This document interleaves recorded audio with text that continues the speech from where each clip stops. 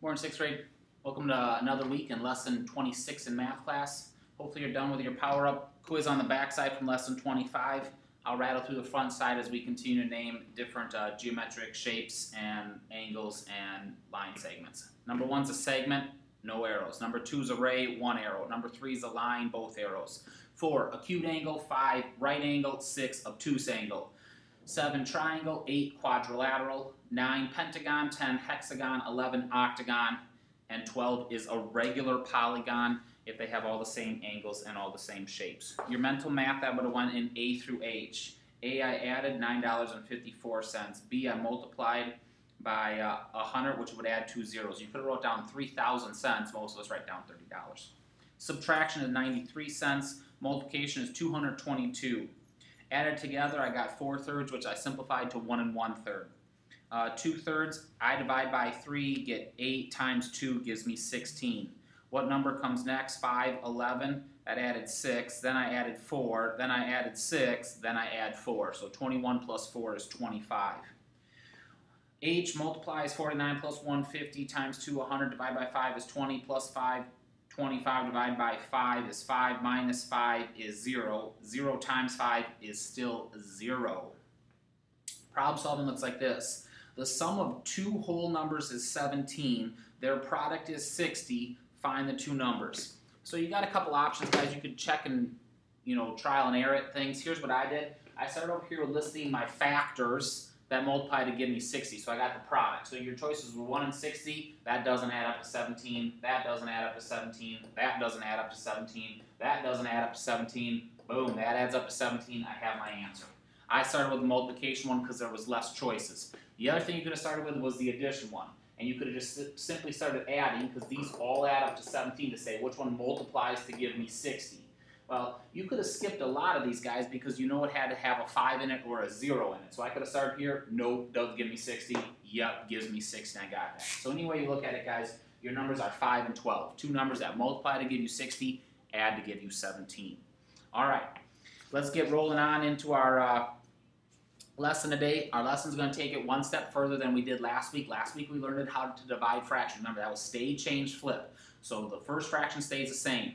We change division to multiplication, and we flip the second fraction. We give the reciprocal, the inverse if we're going to speak correctly.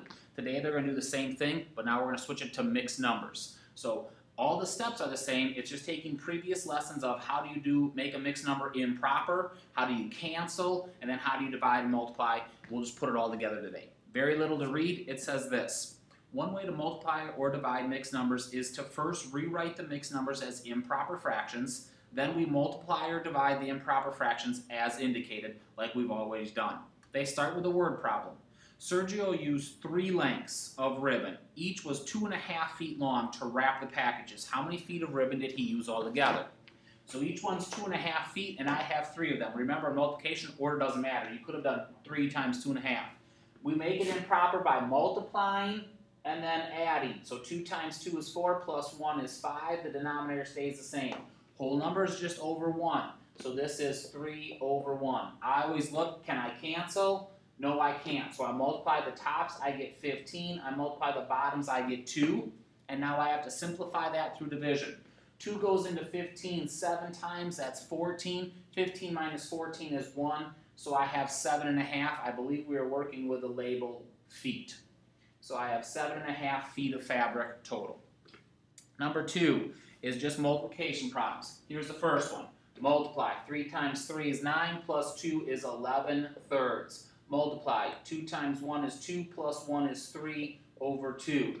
And we're multiplying those together. This is a nice one. We can cancel out the 3's. So 3 on the bottom is gone, 3 on the top is gone. I leave the 1's. Multiply the tops, get 11. Multiply the bottoms, get 2. Divide, goes in there 5 and 1 half times. So 2 goes into 11 5 times, and I have 1 left over. If you can't do that in your head, guys, that's fine. Write out the division, and you get 5 and a half. The second one for B was 1 and a half squared. I wrote it side by side, 1 and a half times 1 and a half.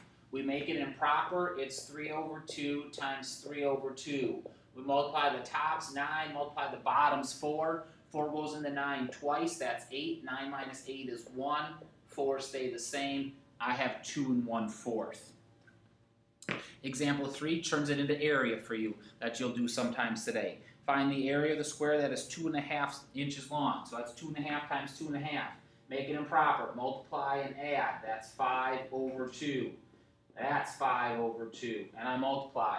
That equals tops 25, bottoms 4. Divide. 4 goes into 25 6 times. That's 24. 25 minus 24 is 1. I got 6 and one fourth. We are working with inches, so it's 6 and one fourth inches squared because of the area. Turn in the page in your math book. Example 4 says, the biscuit recipe called for 3 and 2 thirds cups of flour. To make half a batch, Greg divided the amount of each ingredient by 2. How many cups of flour should he use? So we're supposed to use 3 and 2 thirds, but I'm going to cut it in half, so I'm going to divide by 2.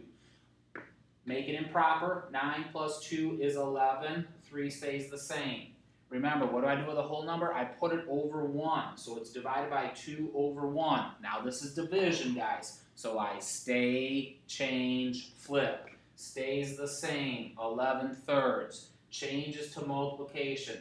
Flips my uh, reciprocal of this fraction. Multiply the tops, 11. Multiply the bottom, 6.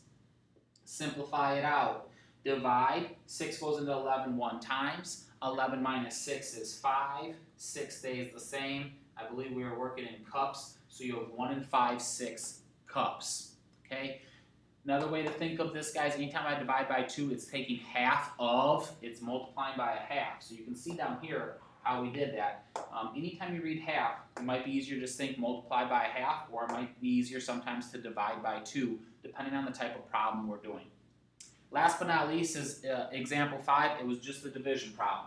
So I'm going to make it improper. That's 3 times 3 is 9 plus 1 is 10. The 3 stays the same. It's divided by 2 times 2 is 4 plus 1 is 5. And the 2 stays the same. Now it's stay, change, flip. So stays the same. Changes to multiplication, flips to 2 fifths. Okay, do not cancel, guys, until it's multiplication. So I canceled up here, I'd be tempted to take 2 into 10. Now that I flipped it, now I'm not taking 2 into 10, I'm taking 5 into 10. That's nice. 2 times 2 is 4, 3 times 1 is 3. That simplifies to 1 and 1 third. Okay, so guys, lots of times when you were doing this stuff, remember, when you divide by a number, this, what I started with, gets smaller, so make sure when you're done, you get smaller. Okay, Quick review, you got to make them improper. Multiply whole number times denominator, add the numerator. If it's division, it's stay, change, flip. Last piece of advice is look for word problems that make you label square inches or cups or things like we did to make sure you have your label with it. Awesome. We'll get set to do uh, the problems.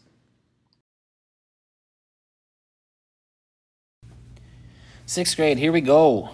Lesson 26, rocking and rolling. Number one says after the first hour of the monsoon, 23 millimeters of precipitation had fallen. After the second hour, a total of 61 had fallen. How many millimeters fell in that second hour? So I had a total of 61. Sorry about that. I had a total of 61. Um, 23 fell in the second. 23 fell in the second hour. I want to first hour. I want to figure out that second hour. So I'm going to subtract total from first hour. Can't do the subtraction borrow. 11 minus 3 is 8. 5 minus 2 is 3. And we are working in millimeters. So 38 millimeters of precipitation fell. Number four, at the movie theater, Dolores gave $20 to the ticket seller and got 10.25 back in change. How much did her ticket cost? So she started with $20. She got $10.25 back after she bought her ticket. What was her ticket? It's subtraction. That becomes 19, 9, 10 minus 5 is 5, 9 minus 2 is 7, and decimal straight down, 9 minus nothing is 9. So her ticket cost $9.75. Number 6. Diagram the statement and answer the questions that follow. Begin by changing the percent to a reduced fraction. 40%, percent means out of a 100, so I chop that off and I get 4 tenths. I'm going to stop right there and I'll show you why. 40% of the 60 marbles in the bag were blue. How many marbles in the bag were blue? Okay, I know I can reduce that to 2 fifths, guys, but this I think is going to be easier for me to do the division. Remember, divide by my denominator, 6, multiply by my numerator, 24. Um, it just made the division easier for me, guys, because you chopped off those sinks. So I have 24 blue marbles for letter A. B said, how many marbles are not blue? You could do this one, guys. If 4 tenths are, 6 tenths aren't, you could divide by 60 again, get 6. 6 times 6 is 36. Many of us like the subtraction thing. I have a total of 60 marbles, 24 are blue. I'm going to subtract to figure out how many are not blue and get 36. Anyways, it doesn't matter. Um, if you're capable of this move right here in your head and you know that your number is 6, this might be easier to say, hey, just take 6 times 6 and get it. Uh, you're capable probably of doing that in your head more than this in your head. 36, not blue. Word problems, make sure you have labels. A, I'm sorry, this is B, this is A up here. Got a little sloppy there, hopefully you followed along. Number eight, this figure shows a one inch square. A smaller square that is seven tenths of an inch on each side is shaded. What fraction of the square is shaded? We're finding area, guys. That's today's lesson, really. I'm taking 7 tenths times 7 tenths. I suppose it's not today's lessons because it's not a mixed number. We're still multiplying. 7 tenths times 7 tenths, multiply the top, 49, multiply the bottom, 100. 49 out of 100 is shaded. Answer for A. B, what percent of the square is not shaded? Remember, percent means out of 100. We're already doing that. So I'm going to do 100 minus 49 that gives me 51. 51 out of 100 is 51%, letter B. Number 9, write 210 and 252 as products of prime numbers. Okay, so I have 210. I want to break that into 21 and 10. I want to break that to 3 and 7. I want to break that to 2 and 5. So the first one is 2 times 3 times 5 times 7. Now I have to do the same thing to 252. 252. I could divide by 2. I'm going to go 2 plus 5 is 7 plus 2 is 9. So I can divide by 9, guys. 9 goes in there 2 times. That's 18. That's a 7. Uh, 72 goes in there 8 times. Break down my 9 is 3 and 3. Break down my 28 to 4 and 7. Break down my 4 to 2 and 2. So the other one is 2 times 2 times 3 times 3 times 7. Okay, now my job was to reduce these fractions. So this 3 is gone, this 3 is gone, this 2 is gone, this 2 is gone, this 7 is gone, this 7 is gone. On the top, I'm left with a 5. On the bottom, I'm left with 2 times 3 is 6. That was a lot of work to get the answer for A. Um, what is it as a reduced fraction? It is 5 6. B says, what's the greatest common factor? The greatest common factor, guys, are the ones I crossed out. So I crossed out 2 times 3 is 6. 6 times 7 is 42. So for B, the greatest common factor is 42. Awesome, awesome problem. Number 14 arrange these numbers in order from least to greatest. So I look through there, I only have one negative number, guys, so that comes first. Then I have the number that's not positive or negative. That's 0. Next is going to be the fraction. That's 5, 6. Then would be the whole number 1, and then would be the improper 4 thirds because 4 thirds would be greater than 1. B, which of these numbers are whole numbers? Remember, Counting numbers start at 1, whole numbers start at 0. So 0, 1, everything else is a fraction. Whole numbers are not negative, guys. Negatives would be integers. So this is B, 0 and 1. Number 15, missing something in subtraction. I have to think, is it the first or the second? If it's the first, I add. So I'm missing the first, so it becomes an addition problem. I have 8 and 11 twelfths plus 6 and 5 twelfths. Add the tops. 11 plus 5 is 16 twelfths. Add the whole numbers, 14. Now I have to get to work on this one. I'm going to make it into a mixed number by dividing. 12 goes into 16 one time. I have 4 left over, so I have 4 twelfths. That I need to reduce by dividing by, sorry, I was writing down the answer. Dividing by 4 gives me 1 third. Add the 1 to the 14 gives me 15. Get my fraction there so it becomes a mixed number. 15 and 1 third. So you can see the work they're starting to do to you when it comes to these addition problems. It's adding them. It's then an improper, so you have to make it a mixed, and you have to reduce. Great problem. Flipping over the answer key, your number 18. 18 says missing the first in addition. Anytime I'm missing something in addition, it's subtraction. So I have 100 minus 58 and 1 third. Cross out the 100, make it 99. I'm working with thirds, so this is 3 thirds. That's a whole 1. Subtract gives me 2 thirds. Subtract gives me 1. Subtract gives me 4. 41 and 2 thirds. Number 19, find the area of the square. Well, a square is the same on each side, guys, so 10 times 10 is 100. We're working with inches, so it's 100 inches squared. B says find the area of the shaded part. That thing is cut in half, so I divide this by 2. That gives me 50 inches squared. They're teaching you that triangle is half of the area of a square. We're getting prepared for that lesson. Number 21, is a multiplication problem. 5 eighths times 3 tenths times 1 six. And we practice canceling. 5 goes into 5 once, 5 goes into 10 twice, 3 goes into 3 once, 3 goes into 6 twice. Nothing but 1's on the top, so that gives me 1. 2 times 2 is 4, times 8 is 32, and I'm left with 1 32nd. Number 22 is today's lesson, two and a half squared. So I take two and a half times two and a half. Make them improper. Multiply, add. Gives me 5 over 2. This one also is 5 over 2. Multiply the tops is 25. Multiply the bottoms is 4. Divide. 4 goes into 25 six times. That's 24. 25 minus 24 is 1. Denominator stay the same. 6 and 1 fourth. I feel like we had that as one of our practice problems.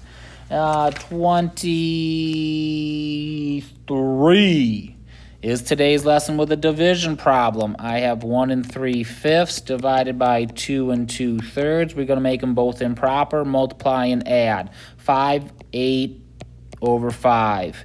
Multiply 6, 7, 8 over 3 stays the same, changes to multiplication, flips over. That's so nice when they flip over. The eights are gone. Three on top, five on bottom. And I have an answer of 3 fifths. Number 25, another one from today. I take 5, I'm to write it over 1 times 1 and 3 fourths. 5 over 1 times multiply 4 plus 3 is 7 fourths. I look, I can't cancel anything, so I multiply the tops. 35, multiply the bottoms, 4. Now I have to divide. 4 goes into 35 8 times. That's 32. 35 minus 32 is 3. 4 stays the same. 8 and 3 fourths.